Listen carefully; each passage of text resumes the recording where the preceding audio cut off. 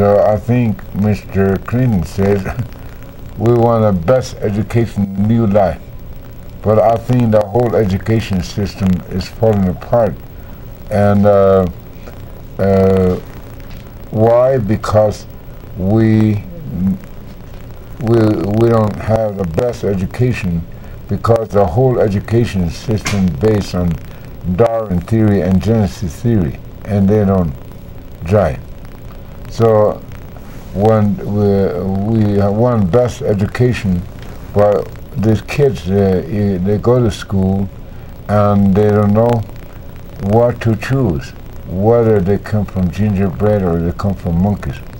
So we're not, we're not uh, educating our children. I think we're confusing our children. Mm. So. I've heard you say often, uh, grandfather, that children care and businessmen alike carry their brains in their suitcase yeah, or in their backpack. Yeah, all the, I see all the kids now, they have their brains in their uh, backpack. And a good thing when I was tugging in the bushes, uh, I didn't have no uh, backpack to put my brains in.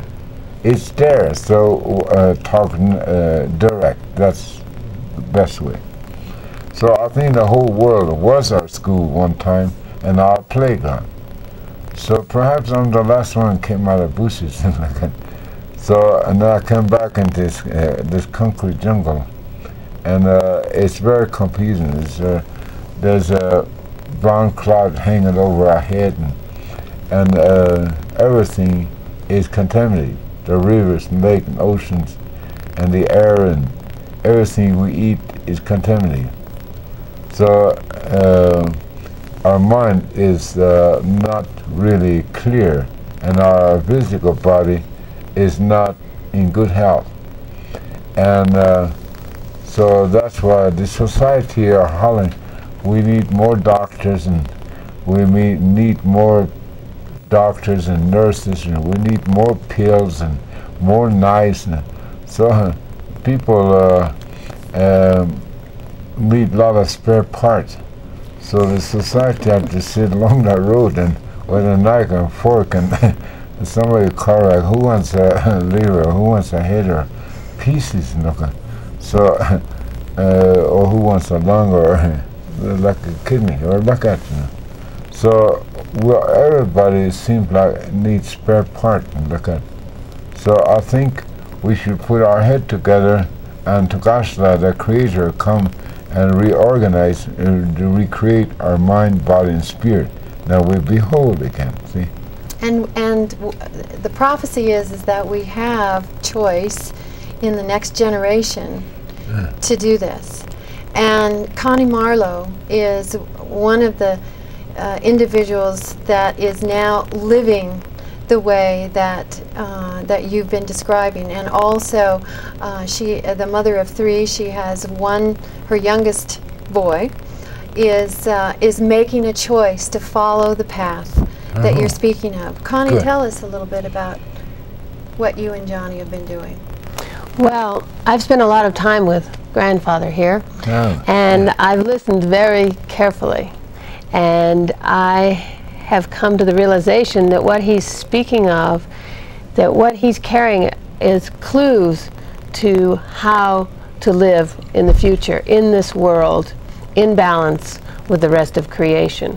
And when my son, uh, at the age of seven, decided to drop out of school, I had enough knowledge of a broader perspective that I could allow him to do that and turn him over to the unseen forces of the universe because I have come to understand that trust is the key to the magic, is the key to the being in harmony with the universal mind. And so, in my opinion, there's nowhere to run now in this culture. And I feel that if, if someone has the courage to live and perhaps model a new way of being, that that's our only alternative because there's no place to go.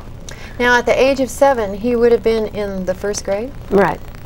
He was in the first grade. And he dropped out of school in the first grade? Yes, because... Which is remarkable. Yeah, I, well, I had the understanding from, from spending time with grandfather and other Native people that each person brings a gift, a unique gift to the world. And that Johnny Marlow knows what his gift is on some level. And he knows what his path is. And that each child knows their path. Our culture doesn't acknowledge that. They say he's only seven, how could he possibly make a decision like that? Well, if Johnny Marlow doesn't know who he is and what his path is, who does? I can only know who I am and what my path is mm -hmm. and guide him. But, um, so we are walking in total trust of a loving universe that will bring to him everything he needs in his life. And how, how does that relate to the to choice and freedom of choice as one walks through life? How is that going to change how he lives in a world around him that possibly is going to be slow to change or not change at all? Well, as I said, he will be given everything he needs to live in this world. So he he will be given if he's going to be a doctor, he will be taken on the path of a doctor. If he's going to be a medicine man, he'll be taken on the path of medicine man. When, when the student is ready, the teacher will come. Johnny does not resonate to the prevailing teaching methods in America today. And by, because I've spent so much time with the Native American people, and I understand how they direct their children's learning. They don't direct, they wait, and they watch, and they guide, and they let the child discover. Yes. The Native American way is about discovery.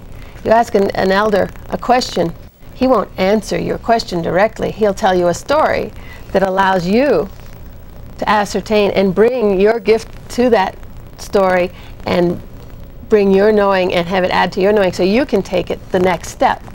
And that's what, it's my opinion that, that um, the native people have been holding clues for us and that it's up to us the white people as leaders of the world to take those clues and put them to work in our life because those clues have to do with the true nature of the universe. Now, you, you came to this in the last decade. Yes. You came to these understandings in the last decade. Aside, alongside with Johnny, how are you personally living your life with these understandings? Well, I walk in total trust. I mean, I listen to to the clues that are given me, I call uh, circumstance, I consider to be an agent of the divine, of the, the universal mind that will guide us. The, you know, the Indians, you hear the signs, we're waiting for the signs. Well, I live my life by the signs because the universe will tell you where to go and what to do. The universe loves you. My grandfather expresses that. He says, you know, the creator is waiting for you to come back to him. He will dust you off, he will brush you off, mm-hmm. and he will hold you and love you. Mm-hmm. And this is the healing of the separation yes. between humanity and the Creator. Yes, this is walking through that, that doorway of trust. And it takes an enormous amount of courage because in our, in our society where, the, where the, the word risk is huge, are you taking a risk why are you taking this risk with Johnny's life? Well, once you walk in trust, there's no such word as risk. And there's no such word as what if. You cannot have a what if when you walk in total trust. Is there a difference between trust and faith?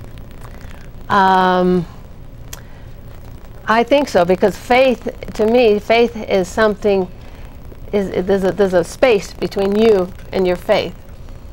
And walking in total trust is your total knowing that you are loved and that there is an abundant, loving universe that will care for you mm -hmm. and, and take you to beyond anything your conscious mind could conceive of. We have a, a very, uh, I guess the word would be misinformed understanding of abundance in our culture because abundance to many people means lots of money and lots of things, lots of stuff.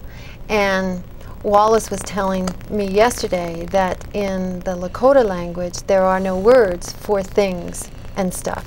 Mhm.